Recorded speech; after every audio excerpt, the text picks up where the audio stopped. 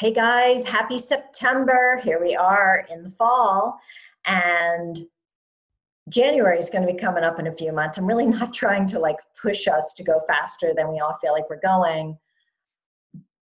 But I thought, you know what? Um, taking in a September inventory of where we are, where maybe we wanted to be. Okay, so let me back up a little bit last January, there are always things, or there are many times there are things that we say we want to begin doing in the new year, correct? So taking a September inventory can be helpful to see okay, was there something I told myself I wanted to do in January? Have I done it? You know, where am I in that process if I have or I have not done it?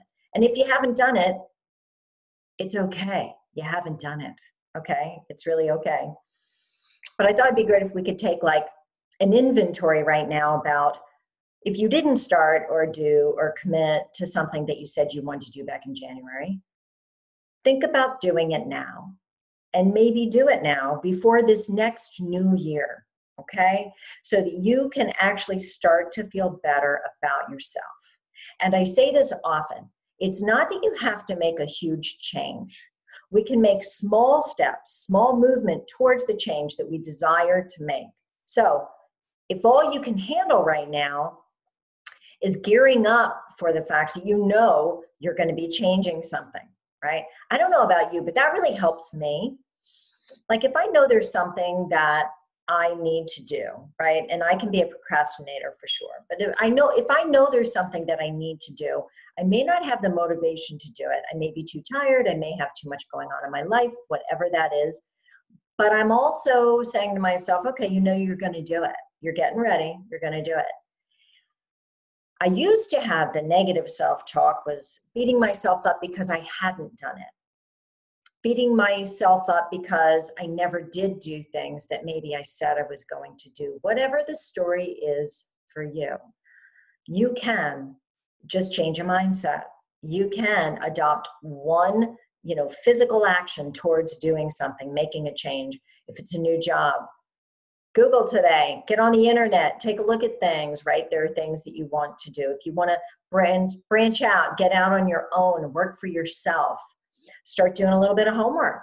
You know, what is it that you need to do? Make a list, make a top 10 list of the things that you know you need to do to start gathering more information. Because the more information we have about things, we can make better decisions, right? So, this is really taking an inventory and saying, okay, what is it that I've been telling myself that I want to do that I haven't done? And that's okay. Okay. Obviously, it wasn't the right time. Maybe now is the right time for you. The other thing I guess I want to throw out is when we keep not doing the thing we say we want to do, there is absolutely a reason why we're not.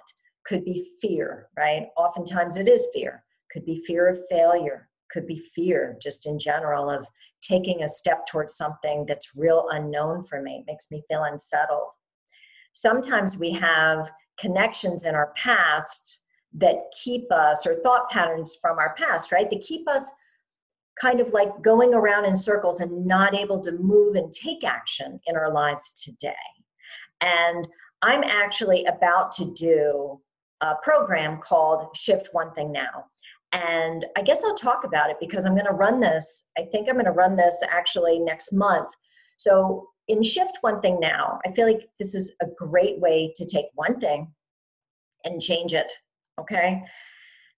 What the program offers is you get videos, weekly videos, and worksheets. This is a four week program. There is an extra week in it just because I, you know, as soon as we're done with the program, I don't want to feel like people are like left. Um, so it's like a transition week. And during each week, the four weeks, you receive worksheets and you receive uh, half an hour of one on one Zoom time with me so that we can work on this and you can ask questions and I go over the questions and we can actually dialogue about things that you know that that are holding you back that you feel are holding you back and then I will perhaps help you maybe navigate some other reasons why maybe you're not taking action right And so you can get coached during this process of Shift One Thing Now, which I think is really awesome. So that is, that's it. That's it for September. And keep your eye out for Shift One Thing Now. Um, I will try to actually have a link in this newsletter so that you guys can sign up uh, or reach out and talk to me about it if you would like to, instead of just committing first. If you have any more questions, I want to be available to you because it is a personal thing to change something in our lives. Um, and I think that's it. Okay. So let this time inspire you. Let September inspire you so that you can go ahead and take action towards the thing that you really and truly would like to change or do or overcome in your life and not wait until January to think about it. Okay. All right. Have a great one. I will talk to you next month. Thanks.